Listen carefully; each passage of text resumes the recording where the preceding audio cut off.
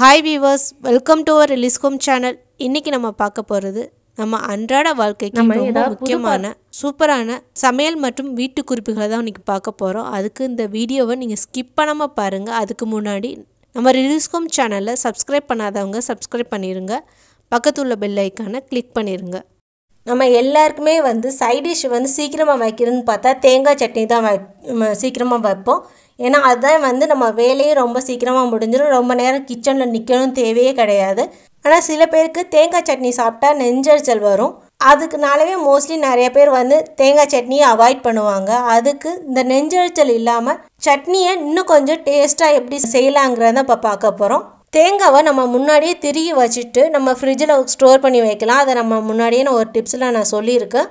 இது மாதிரி தேங்காய் நல்லா திருகி ஒரு டப்பாவில் போட்டுட்டு ஃப்ரிட்ஜில் வச்சுட்டிங்கன்னா அது வந்து ஒன் வீக் மேலே நல்லா ஃப்ரெஷ்ஷாகவே இருக்கும். நம்ம ஸ்பூனை யூஸ் பண்ணோம்னா இன்னும் கொஞ்சம் நாளைக்கு நல்லா ஃப்ரெஷ்ஷாகவே இருக்கும். ஏன்னா கையை விட்டு நம்ம தேங்காய் எடுக்கும்போது அது கொஞ்சம் கொஞ்சமாக அப்படியே கெட ஆரம்பிச்சிடும் நல்லா ஒரு மாதிரி ஸ்மெல் வர ஆரம்பிச்சிடும் அதுக்கு நீங்கள் ஸ்பூனு இல்லை கரண்டி யூஸ் பண்ணிங்கன்னா ரொம்ப நாளைக்கு நல்லா ஃப்ரெஷ்ஷாகவே இருக்கும் அந்த தேங்காய். தேங்காவை இந்த மாதிரி திருகி வச்சுட்டு நம்ம வழக்கம் போல் நம்ம தேங்காய் சட்னிக்கு பொட்டுக்கல்ல பச்சை மிளகா இல்லாட்டி காஞ்ச மிளகா எது வேணால் போட்டு நீங்கள் அரைக்கலாம். அதோடு சேர்த்து ரெண்டே ரெண்டு பல் பூண்டு அதில் ஆட் பண்ணிக்கோங்க. பூண்டை அதில் ஆட் பண்ணிவிட்டு நீங்கள் அரைச்சி பாருங்கள் அந்த தேங்காய் சட்னி எப்போதும் உள்ள டேஸ்ட்டோட அதிக டேஸ்ட் கொடுத்து எல்லோரும் ரொம்ப விரும்பி சாப்பிடுவாங்க. ஏன்னா தேங்காய் வந்து சில பேருக்கு நெஞ்சரிச்சல் வரும். அதுக்கு இந்த பூண்டு சேர்த்து நம்ம இங்கே அரைச்சி சாப்பிட்டிங்கன்னா அந்த மாதிரி நெஞ்சரிச்சல் வரவே வராது. இதை நீங்கள் கண்டிப்பாக ட்ரை பண்ணி பாருங்கள் உங்களுக்கு ரொம்பவே யூஸ்ஃபுல்லாக இருக்கும். நம்ம ஏதாவது புது பாத்திரம் வாங்கினோம்னா அந்த புது பாத்திரத்தில் இந்த மாதிரி ஸ்டிக்கர்ஸ் வந்து நம்மளுக்கு எப்போதுமே இருக்கும். அதை வந்து எடுக்கிறது ரொம்ப கஷ்டம். இந்த மாதிரி நம்ம சுரண்டி பிக்கலான்னு பார்த்தாலும் நம்மளுக்கு அதில் பாதி ஸ்டிக்கர் வந்து அதிலே ஒட்டிக்கும். அப்படியே சாப்பிடவும் முடியாது. என்ன வாஷ் பண்ணாலும் நம்மளுக்கு ஒரு மாதிரி பிசு பிசுன்னு ஆயிரும். அதுக்கு நீங்கள் இந்த மாதிரி ட்ரை பண்ணி பாருங்கள் அது வந்து கொஞ்சம் கூட இருந்த தடமே இல்லாமல் நம்மளுக்கு சூப்பராக எடுக்க வந்துடும் அடுப்பை பற்ற வச்சுக்கோங்க. அடுப்பை பற்ற வச்சுட்டு அடுப்பில் அந்த ஸ்டிக்கர் இருக்க பாத்திரத்தை எங்கே ஸ்டிக்கர் இருக்கோ அந்த இடத்த வந்து அடுப்பில் காட்டுங்க. அதாவது முன்னாடியும் பின்னாடியும் கொஞ்சம் லைட்டாக இந்த மாதிரி காட்டினீங்கனாவே போதும். அழகாக ஈஸியாக எடுக்க வந்துடும் இங்கே பாருங்கள் எவ்வளோ ஈஸியாக எடுக்க வருது. கொஞ்சம் கூட அந்த பாத்திரத்தில் வந்து ஸ்டிக்கர் ஒட்டவே ஒட்டலை. இங்கே பாருங்கள் எடுத்ததுக்கப்புறம் ஸ்டிக்கர் இந்த தடமே தெரியல பாருங்கள் எவ்வளோ சூப்பராக எடுக்க வருதுன்னு. இந்த பாருங்கள் அடுத்து சின்னதாக ஒரு ஸ்டிக்கர் இருக்குது அதையும் அதே மாதிரி நம்ம காட்டினா போதும். அழகாக எடுக்க வந்துடும் பாருங்கள் அந்த சின்ன ஸ்டிக்கர் கூட நம்மளுக்கு ஈஸியாக எடுக்க வந்துருச்சு. இந்த மாதிரி நீங்கள் ட்ரை பண்ணி பாருங்கள் இது உங்களுக்கு ரொம்பவே யூஸ்ஃபுல்லாக இருக்கும் பாத்திரமும் நீட்டாக இருக்கும். இந்த டிப்ஸ் வந்து உங்களுக்கு பிடிச்சிருந்துச்சுன்னா லைக் பண்ணுங்கள் சப்ஸ்கிரைப் பண்ண மறந்துடாதீங்க. இப்போ அடுத்து ஃபிஷ்ஷை எப்படி நம்ம ப்ரீ ப்ரிப்பேர் பண்ணி நம்ம ஃப்ரிட்ஜில் ஸ்டோர் பண்ணி வைக்கிறது தான் பார்க்க போகிறோம் ஃபிஷ்ஷை வந்து ஃப்ரை பண்ணுறதுக்கு இந்த மாதிரி அதில் மிளகாத்தூள் சேர்த்துக்கோங்க. அதுக்கப்புறம் கலருக்காக நான் காஷ்மீர் சில்லி சேர்த்துருக்கேன். மல்லித்தூள் கொஞ்சம் அப்புறம் சீரகத்தூள் கொஞ்சம். இது எல்லாத்தையும் நல்லா போட்டுட்டு உப்பையும் ஆட் பண்ணிக்கோங்க. இது எல்லாத்தையும் ஒன்றா நல்லா மிக்ஸ் பண்ணிட்டுருக்கோங்க. அப்புறம் அதில் இஞ்சி பூண்டு பேஸ்ட்டு கொஞ்சமாக எண்ணெய் விட்டுட்டு இந்த மாதிரி மசாலாவை ரெடி பண்ணதுக்கப்புறம் ஃபிஷ்ஷில் நல்லா அப்ளை பண்ணிக்கோங்க. அந்த மீனில் நல்லா அப்ளை பண்ணதுக்கப்புறம் வேணும்னா நீங்கள் இதில் கொஞ்சமாக கோதுமை மாவு ஆட் பண்ணிக்கலாம். கோதுமை மாவு எதுக்குன்னா நல்லா கிறிஸ்பியாகவும் அந்த மசாலா வந்து பிரியாமல் இருக்கிறதுக்காக நம்ம ஆட் பண்ணுவோம்.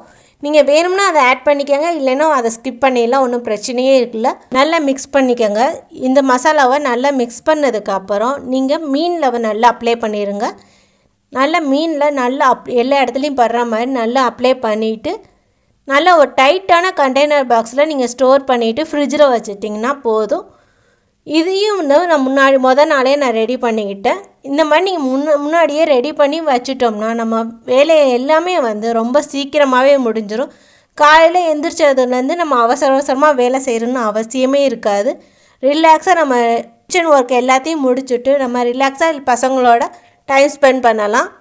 நம்ம எல்லாருக்குமே வந்து கிச்சனில் ரொம்ப நேரம் நிற்கிறது யாருக்குமே பிடிக்காது. அதுவும் குறிப்பாக நான்வெஜ் எடுக்கும்போது எப்படா கிச்சனை விட்டு வெளியில் வருவோம்? கிச்சன் வேலையெல்லாம் எப்போ முடியும்னு சொல்லி எதிர்பார்த்துட்டு பண்ணிக்கிருப்போம் அந்த மாதிரி இருக்கும்போது நீங்கள் இந்த மாதிரி ட்ரை பண்ணி பாருங்கள் உங்கள் கிச்சன் ஒர்க் எல்லாமே வந்து சீக்கிரமாகவே முடிஞ்சிடும். ஸ்பெஷலாக நான்வெஜ் எடுக்கும்போது ரொம்ப சீக்கிரமாகவே முடிஞ்சிடும் இங்கே பாருங்க இதில் வந்து நான் சிக்கன் எடுத்துருக்கேன். சிக்கனை வந்து நான் மொதல் நாளே வாங்கியாச்சு. மொதல் நாளே வாங்கின சிக்கனை வந்து இந்த மாதிரி நல்லா வாஷ் பண்ணிக்கோங்க. நல்லா வாஷ் பண்ணிவிட்டு இந்த மாதிரி ஒரு பவுலில் கொட்டிக்கோங்க. இந்த மாதிரி பவுலில் கொட்டினதுக்கப்புறம் வெங்காயத்தை குட்டி குட்டியாக இந்த மாதிரி நீள நீளமாக பெரிய வெங்காயத்தை நான் அடுக்கி வச்சுருக்கேன். அந்த வெங்காயத்தை இதோட ஆட் பண்ணிக்கோங்க.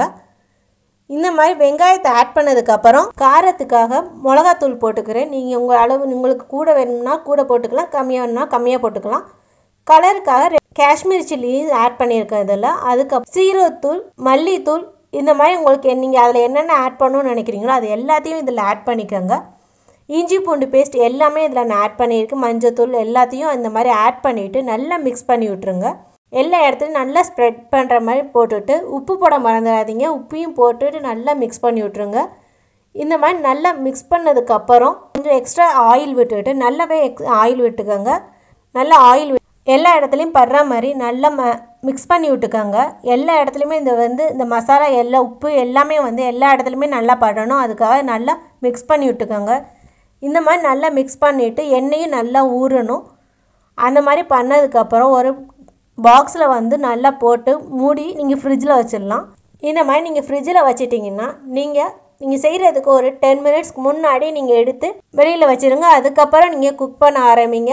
உங்களுக்கு இது சூப்பராக நீங்கள் சீக்கிரமாகவே வேலை முடிஞ்சு குக்கிங் டைமே வந்து ஃபிஃப்டீன் மினிட்ஸ் தான் மேக்ஸிமம் இந்த மாதிரி ஏற்கனவே ப்ரிப்பேர் பண்ணி வச்சிட்டிங்கன்னா ஃபிஃப்டீன் மினிட்ஸில் அந்த சிக்கன் வந்து உங்களுக்கு ரெடி ஆயிரும். இடையில அப்போதைக்கு அப்போ தான் நீங்கள் கிண்டி விட்டால் போதும். இந்த மாதிரி நம்ம ஒர்க்கெலாம் வந்து முன்னாடியே ப்ரீ ப்ரிப்பேர் பண்ணிட்டோம்னா ஈஸியாக நம்ம குக்கிங் ஒர்க் எல்லாமே முடிஞ்சிடும் நம்மளுக்கு அவ்வளோ டயர்டாகவும் ஃபீல் ஆகாது. ஸ்பெஷலாக சண்டேயில் வந்து நம்ம நல்லா ரிலாக்ஸாக அவுட்டிங் போகிறதாலும் போகலாம் இல்லாட்டி வீட்டில் ரெஸ்ட் எடுக்கிறதா எடுக்கலாம். இந்த மாதிரி ட்ரை பண்ணி பாருங்கள் உங்களுக்கு ரொம்பவே யூஸ்ஃபுல்லாக இருக்கும். நம்ம எல்லார் வீட்லேயுமே வந்து மேகி செய்வோம். மேகி செஞ்சுட்டு நிறைய அந்த மாதிரி வேஸ்டானதை அப்படியே தூக்கி போட்டுருவோம். ஏன்னா அது காஞ்சி போனதுக்கப்புறம் மேகியை நம்ம சாப்பிடவே முடியாது. அதுவும் குறிப்பாக குட்டி பசங்களாக இருக்கும்போது அவங்க கொஞ்சமாக சாப்பிட்டு நிறைய வேஸ்ட் பண்ணிடுவாங்க. அது அப்படியே காஞ்சி போய் அதை நம்ம தேவையில்லாமல் தூக்கி தான் போடுவோம். இனிமேல் அந்த மாதிரி நீங்கள் தூக்கி போடாதீங்க. அதையும் நம்ம நல்லா ஃப்ரெஷ்ஷாகவே பண்ணலாம். ஏன்னா வந்து சட்டியில் நம்ம சூடு பண்ணால் கூட அது ஒட்டிக்கிட்டு அது நல்லாவே இருக்காது. டேஸ்ட்டே இல்லாமல் போயிடும் அதில். இந்த மாதிரி ஒரு சட்டியில் தண்ணி காய போட்டுக்கோங்க. தண்ணி காய போட்டு மிச்சமான மேகியை வந்து ஒரு சின்ன பவுலில் இல்லாட்டி ஒரு சட்டியில் வந்து கொட்டிட்டு அந்த தண்ணி கொதிச்சோன்னா அந்த மேகி கொட்டி வச்சுருக்க பாத்திரத்தை வந்து அந்த தண்ணிக்குள்ளே வைங்க. உள்ளே வச்சுட்டு நல்லா மூடிடுங்க இந்த மாதிரி மூடினதுக்கப்புறம் ஒரு மேக்ஸிமம் ஒரு ஃபைவ் டு டென் மினிட்ஸ் மட்டும் இருந்தால் போதும். ரொம்ப நேரம் இருக்கும்னு தேவையே கிடையாது. இப்போ பாருங்கள் நமக்கு ஃபைவ் மினிட்ஸ் ஆச்சு. நான் ரொம்ப நேரம்லாம் வைக்கல. கொஞ்சம் தான் இருக்கனால நான் ஃபைவ் மினிட்ஸ் தான் வச்சுருக்கேன். இந்த மாதிரி ஃபைவ் மினிட்ஸ்க்கு அப்புறம் பாருங்கள் இங்கே பாருங்கள் நல்லா நல்லா ஃப்ரெஷ்ஷாகவே இருக்குது நல்லா முன்னாடி மாதிரி நம்ம புதுசாக எப்படி செஞ்சால் எப்படி இருக்கும்? அதே மாதிரி நல்லா இருக்குது நல்லா ஃப்ரெஷ்ஷாகவே இருக்குன்னு சாப்பிட்றதுக்கும் நல்லா டேஸ்ட்டாக இருக்கும். இதை வந்து நீங்கள் இட்லி சட்டியில் கூட ட்ரை பண்ணி பார்க்கலாம். இதை நம்ம வேஸ்ட் பண்ணாமல் நம்ம யூஸ் பண்ணிக்கலாம். இந்த மாதிரி ட்ரை பண்ணி பாருங்கள் இது உங்களுக்கு ரொம்பவே ஹெல்ப்ஃபுல்லாக இருக்கும். இது மாங்காய் சீசன் அதனால் அதிகமாகவே நம்மளுக்கு மாங்காவே கிடைக்கும். அப்படி கிடைக்கும் போது இந்த மாங்காவை இந்த மாதிரி பண்ணி வச்சுக்கிட்டிங்கன்னா நம்மளுக்கு ரொம்பவே யூஸ்ஃபுல்லாக இருக்கும். பசங்களும் நல்லா விரும்பி சாப்பிடுவாங்க. மாங்காய் ஊறுகாய் போட்டால் அதெல்லாம் வந்து நிறைய ப்ராசஸ்ஸு ஸோ அது பக்குவமாக கரெக்டாக எல்லாமே வந்து கரெக்டான அளவில் போடணும். அது வந்து சில பேர் தான் கரெக்டாக பண்ணுவாங்க. சில பேருக்கு வந்து ஒழுங்காக வராது. அந்த மாதிரி இருக்கும்போது இந்த மாங்காவை இந்த மாதிரி நல்லா ஸ்லைஸ் ஸ்லைஸாக கட் பண்ணிக்கோங்க. அந்த கொட்டை இல்லாமல் நீங்கள் இந்த மாதிரி கட் பண்ணி எடுத்துட்டு இந்த மாதிரி ஒரு ஜாடி ஜாடி இல்லைன்னா ஒரு கிளாஸ் பாட்டில் எடுத்துக்கோங்க. மற்றபடி சில்வரோ காப்பர் பாத்திரம் அந்த மாதிரி வேறு எதுவுமே நீங்கள் எடுக்காதீங்க. இந்த மாதிரி ஜாடி இல்லைன்னா கிளாஸ் பாட்டில் மட்டும் எடுத்துக்கோங்க.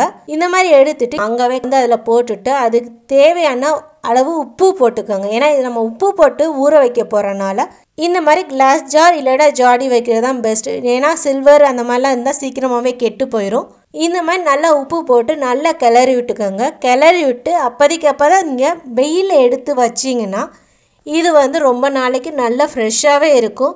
இது உப்பு ஊறுகாய் மாதிரி நம்ம வேணுங்கிற போது எடுத்துக்கலாம். நம்ம சாதத்து கூட தொட்டுக்கலாம். பசங்கள்லாம் நல்லா விரும்பி சாப்பிடுவாங்க. இதை வந்து உப்பு ஊறுகான்னு சொல்லுவாங்க. வேறு எதுவுமே ஆட் பண்ணாமல் வெறும் மாங்காயில் உப்பு மட்டும் ஆட் பண்ணி நம்ம வெயில் அப்போதைக்கு அப்போ தான் எடுத்து வச்சோம்னா இது வந்து ரொம்ப நாளைக்கு கெடாமல் மாதக்கணக்கில் நல்லா ஃப்ரெஷ்ஷாகவே இருக்கும். அப்போதைக்கு அப்போ தான் லைட்டாக இந்த மாதிரி நல்லா குலுக்கி விட்டுக்கோங்க. நாங்கள் நல்லா குலுக்கி விட்டுக்கோங்க. ஏன்னா கீழே உள்ளது எல்லாத்தையும் மேலே வர மாதிரி மேலே உள்ளது கீழே போடுறோம் அந்த மாதிரி நல்லா குலுக்கி விட்டுட்டு அப்போதைக்கு அப்போ தான் நீங்கள் டெய்லி டெய்லி கூட வைக்கலாம். ஒன்றும் பிரச்சனையே இல்லை. டெய்லி ஒரு ஹாஃப் அன் ஹவர்லேருந்து ஒன் ஹவர் நீங்கள் வெயிலில் வச்சா போதும். ரொம்ப நேரம் வைக்கணும்னு அவசியமே இல்லை. டெய்லியில் வெயிலில் வச்சுட்டு வச்சு எடுத்திங்கன்னா இது வந்து ரொம்ப மாத கணக்கில் நல்லா ஃப்ரெஷ்ஷாகவே கெட்டு போகாமல் நல்லா இருக்கும். பசங்களும் நல்லா விரும்பி சாப்பிடுவாங்க. இதை ட்ரை பண்ணி கண்டிப்பாக ட்ரை பண்ணி பாருங்கள் உங்களுக்கு ரொம்பவே பிடிக்கும். இந்த டிப்ஸ் எல்லாம் உங்களுக்கு ரொம்பவே யூஸ்ஃபுல்லாக இருக்கும்னு நினைக்கிறேன். பிடிச்சிருந்துச்சுன்னா லைக் பண்ணுங்கள் உங்கள் ஃப்ரெண்ட்ஸுக்கும் ஷேர் பண்ணுங்கள் சப்ஸ்கிரைப் பண்ண மறந்துடாதீங்க. தேங்க்யூ ஃபார் வாட்சிங்